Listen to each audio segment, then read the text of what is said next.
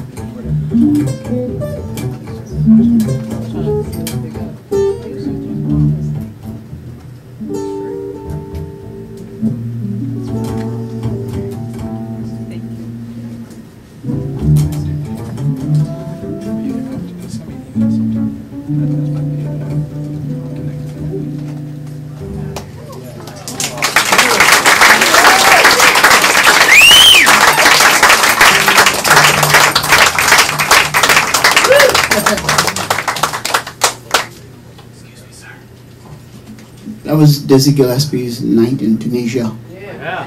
yeah. We need to go to the island.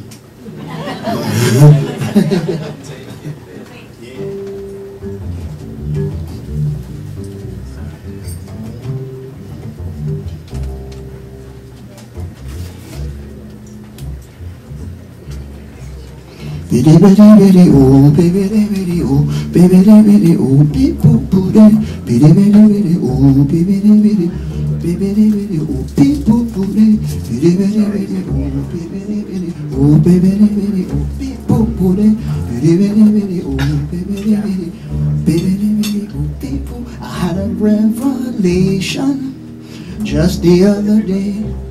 Oh, how I miss the island. I got to find I've searched the distance to find my way home. I couldn't make it. I felt so alone. I gotta get to the island where my passion lies. I wanna get to the island. Nothing dead people. I wanna get to the island. My dreams are realized. Take me back to the island. Love is waiting there. Summer, winter, I couldn't play the part. I got to go back to where I left my heart. So tomorrow you'll hear me say, no more dreaming. I'll be on my way. I gotta get to the island where my passion lies. I wanna get to the island. My dreams are realized. Take me back to the island. Nothing can compare. I wanna go to the island. My love is waiting there.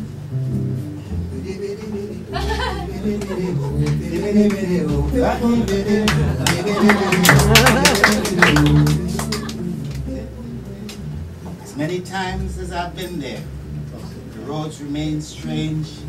Going east when I think we're headed south, passing fields of the same farmers who lift and shake their heads. I'm sure I was born here, though when I hold out my hand, the fish swim away. The men toast someone behind a partition, and only one aunt claims she still loves me. The spaces behind houses carry the light in spare pockets, and a quiet holds the hills like rakes at lunchtime. I dare not ask which trace leads to the sea. Innocent wave washing the same sand. Manzanilla, Mayaro, Gasparee. Only 50 square miles, but it can go on forever. Machetes looking for something to cut besides cane.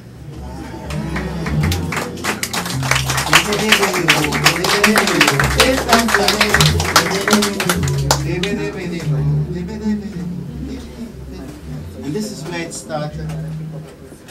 The Waving Gallery. If you're old enough to remember airports mm-hmm. when the planes didn't come right up so you could just walk on. You had to cross the tarmac. So there was a piece of glass upstairs fronting a room where your family could go and, all right. It's, it's almost like they knew you weren't coming back, you know. But they dressed like they were traveling too.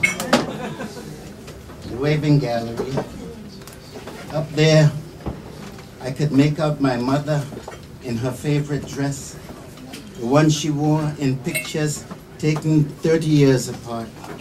And Doris, her friend who had warned her not to cry, white kerchief dabbing at her eyes.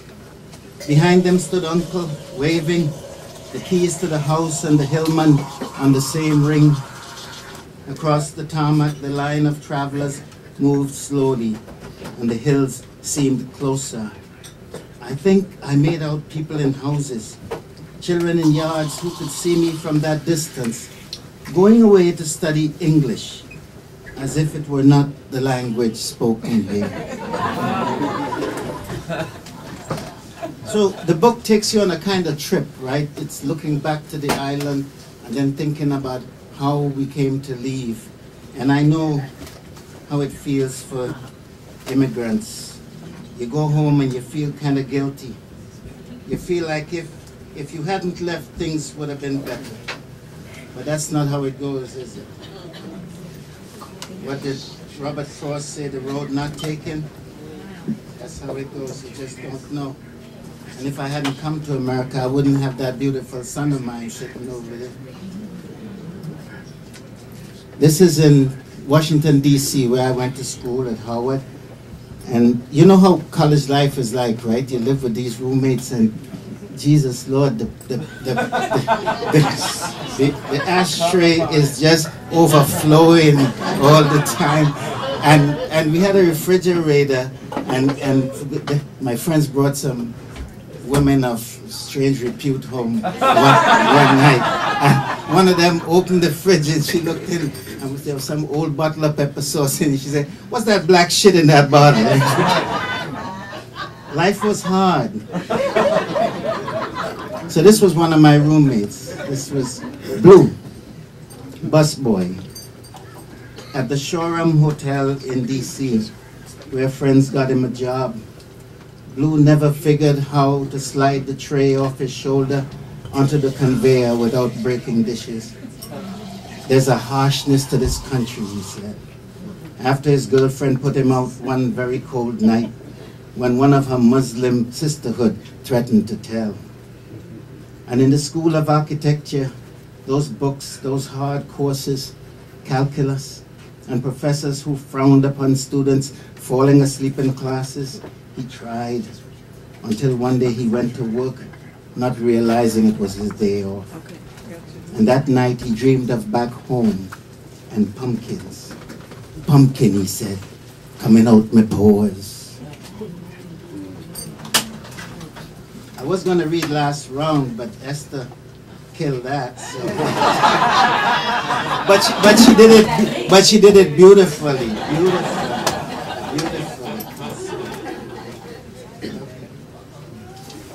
This is a, this is another roommate, Dr. P. We call him. Underneath the Calvert Street Bridge, our roommate Peter and a white woman who looked younger in the bar both tipsy, are going at it. It's snowing hard, a postcard scene, the stately Hotel Shoreham aglow, and along the span at intervals, antique street lamps shining on black railings and wet cobblestones. The sounds of Peter's grunts echo in the underpass. The woman, her coat and dress bunched at the waist, suddenly declaring she doesn't like Negroes. You're Spanish, aren't you? she mutters. And Dr. P, as we call him, ever mindful, even in distress, whispers, see, see. Snow blowing off sound like you, right? Snow, snow blowing off the embankment into his ear and onto his freezing behind. This is a poem for my son concerned. The forceps left two bruises on my son's head, visible till he was about six weeks old. What kind of doctor, I ask, grabs a kid like that, pulls him like meat from the grill when it's done? Two green spots, as if the tongues were old, the first thing they could find I find myself looking, now the boy's 40, for further signs of damage. so far, none.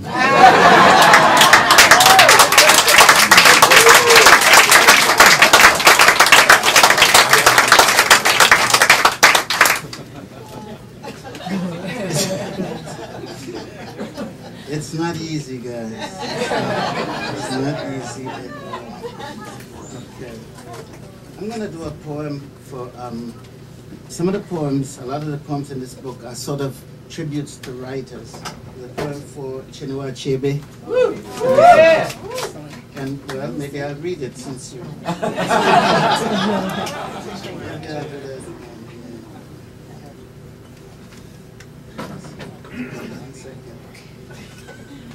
called The Old Ways in memory of Achebe.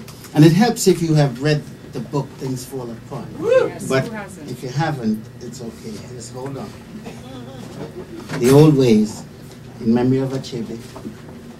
I would travel north to hear the great writer whose story about the champion wrestler Okonkwo set the bar so high no rival could take him down. And if my girlfriend was still living there, I would spend the weekend in Providence, recalling how hard it is to find decent fish in a city so near the sea. I could bear anything the steep, narrow staircase up to her bedroom, her mattress on the attic floor. But now I hear Chinua has died. I don't think I could stand the memory of her roommate's chatter. It brings to mind the children of the evil forest, thrown there for being different. So I stay home and read how the hero chose which wife by putting his stool in front of her door. That's how they did it.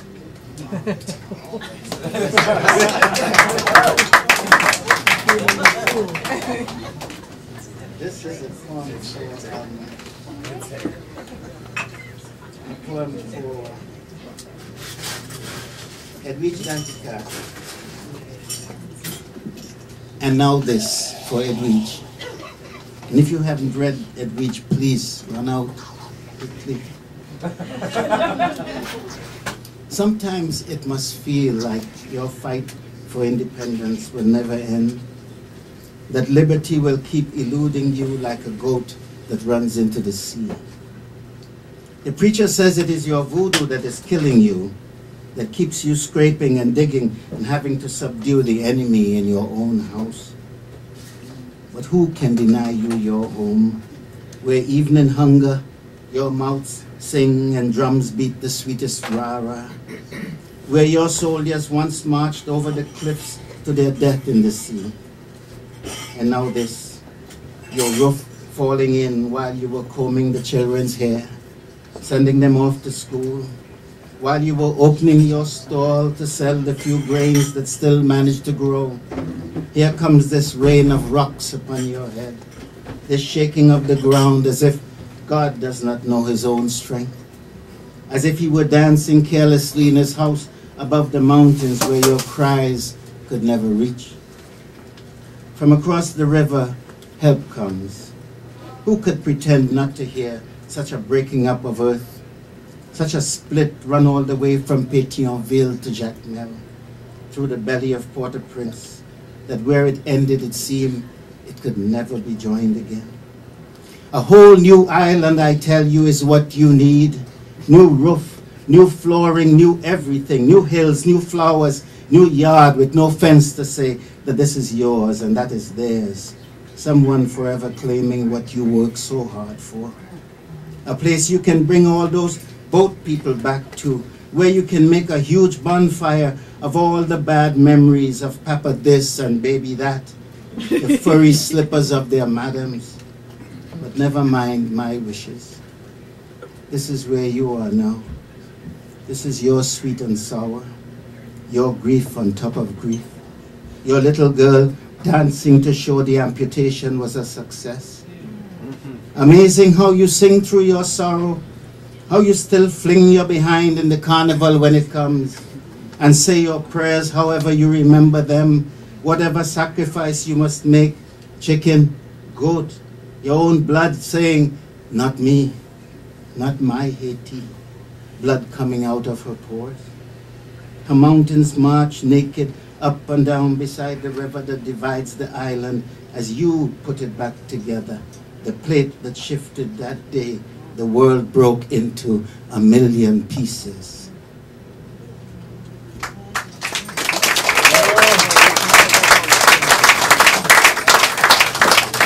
I have a poem for, for Samantha, I think that, and then it kind of just mingled.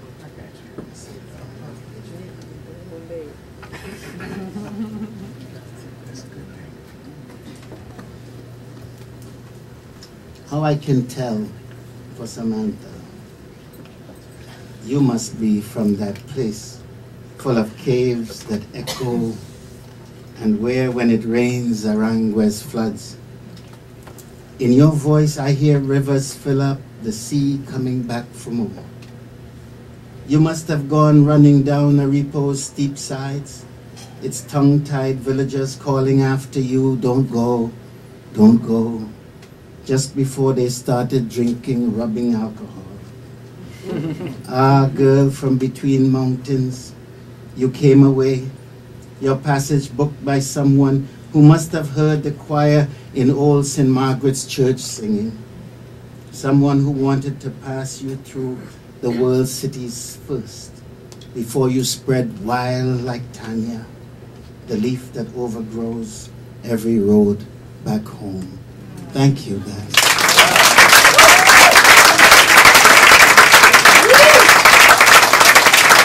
Okay, so my cousin is back there with all the books, Nancy, and she'll help you. And please mingle and talk. And um, I want to thank everyone. I mean, this is absolutely amazing.